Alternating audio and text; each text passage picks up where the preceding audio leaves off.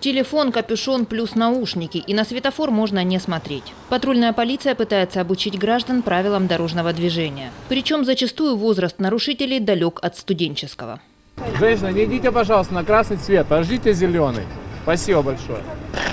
Машин на данный момент нет. Ну, может проехать. Вот смотрите, вот автомобиль едет. Вы его не увидите, понимаете? Вот сейчас вот специально для вас отчет проходит. Вот остается там буквально 3 секунды.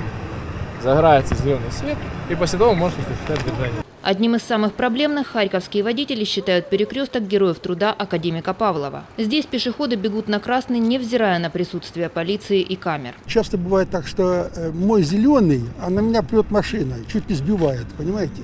Поэтому больше доверяю не, не светофору, а своим глазам.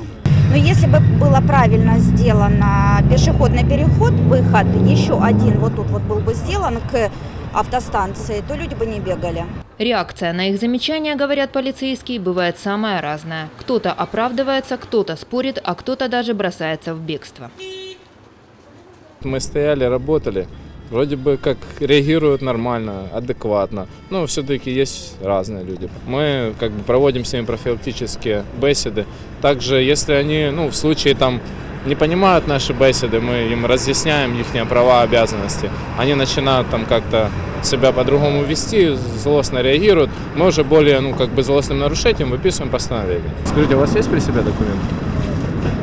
Студенческий? Штраф за пересечение перекрестка на красный свет – 51 гривна. За полчаса выписано несколько постановлений. Полицейские говорят, они не могут дежурить на излюбленных тропах пешеходов круглосуточно, но за время патрулирования стараются несколько раз остановиться в проблемных местах. мы, проезжая эти проблемные участки, просто обращаем внима- внимание и в то же время водителя жалуются на то, что пешеход является таким же участником дорожного движения, как и водитель, но водителей почему-то останавливают, штрафуют, указывают, а пешеходов никто не трогает. Второе место концентрации смелых пешеходов – перекресток Гагарина-Одесская. Здесь граждане не просто уверенно идут на красный, они еще и доказывают полицейским свою правоту. Остановитесь, пожалуйста. Какой сигнал светофора? На красный. На красный. Так машин не было. У меня просто денег нету, чем платить. Вот это я за это переживаю. Понимаете? Так почему вы тогда не соблюдаете? Почему другие, когда нарушают, их не штрафуют? Повышение штрафов и высокие заборы – только драконовские меры могут остановить пешехода, считают водители. В полиции ищут оптимальные пути решения и для пешеходов, и для водителей. Так, на перекрестке улиц Шевченко-Весняна поменяли схему работы светофоров. Несколько дней тестировали. В ранкові години в часи пік е, пріоритетний напрямок для руху це вулиця Шевченка на в'їзд до центральної частини міста та вулиця Академіка Білецького для руху в бік вулиці Весняна. У вечірній час запроваджений пріоритетний напрямок вулиця Шевченка в бік е, вулиці Героїв Праці та вулиця Весняна в бік вулиці Якіра.